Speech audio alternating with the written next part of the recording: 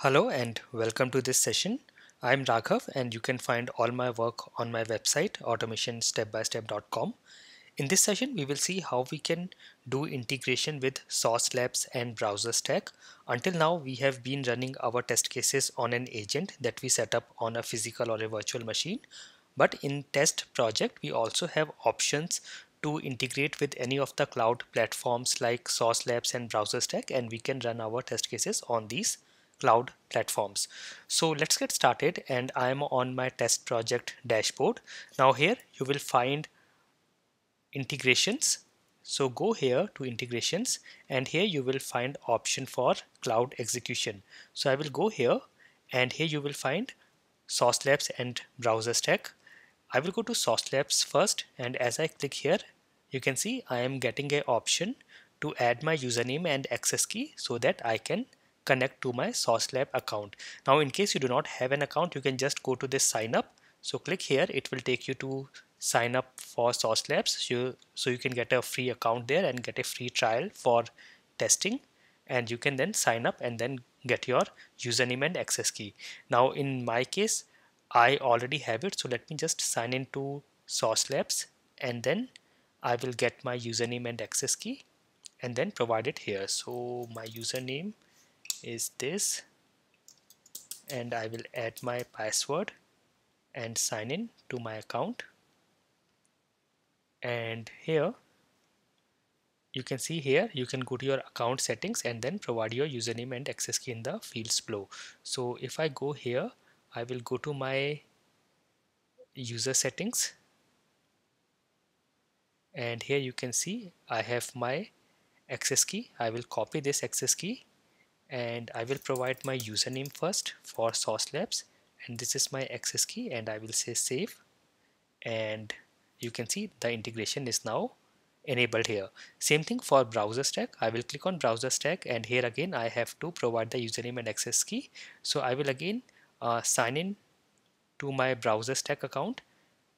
Again you can create a free account. You can just sign up and create a free account for trial.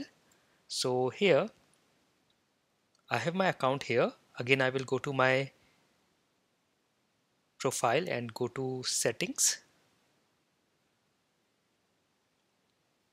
And here I will find my username. So you can see for this we have different options here. So app automate automate app live all these plans are here.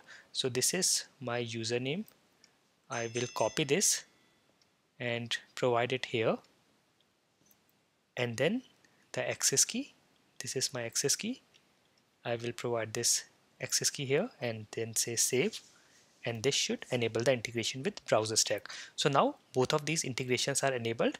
We also have this settings here. So if I can if I want to change anything I can just change it from here. And now if I go to my project so I will go to my any of my project here. And then I will go to any of the test cases. So I have my test cases under the demo test folder. And I will click on this run button here. And here you can see if I now click on this drop down you can see we have this options for agents that I already have. But now you will see we have options for Sauce Labs and browser stack as well. I can click on Sauce Lab and here I can see all the options all different browsers and operating system combination that I can use. And similarly for browser stack if I go to the job we have a job here.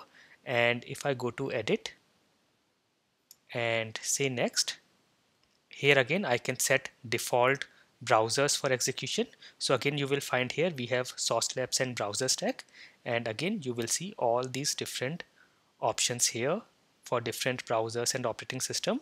And if you select any of these and then run them you will see they will get executed here and you will find all your test executions their recordings logs everything on your sauce labs or browser stack account. So this is how you can do integration with cloud platforms like sauce labs and browser stack i hope this session was very useful for you. Thank you for watching